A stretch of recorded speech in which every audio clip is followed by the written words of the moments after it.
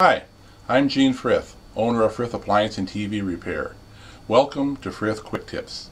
As a service to our customers, we are providing quick tips about appliance and TV repair.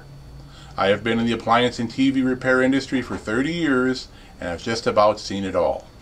If you would like to ask a question, visit our Facebook page for Frith Appliance and TV, post the question, and we will do our best to answer. Did you know that there's not much difference between the modern day digital TV that we have here and a computer monitor? And here's why.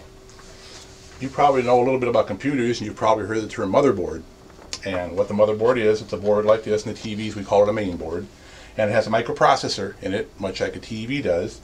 And if you notice this particular one has many different connections that you're probably familiar with on the TV, but you notice this here has a place or a little connector for a TV, or I mean a computer monitor. So you could actually connect your computer to this and watch everything you see on the TV, everything you see on your computer, such as YouTube videos, right here on your TV.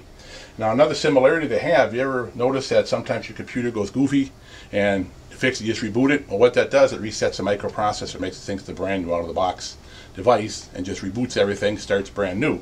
Uh, well TVs operate the same principle. Sometimes they'll do funny things which you can't explain, and you can't necessarily just turn it off and turn it back on because there's always power supplied to the microprocessor. What you need to do in this case is to physically unplug the TV, wait a minute, plug it back in, and this will force the microprocessor in the TV to reset itself, and this will clear up many problems.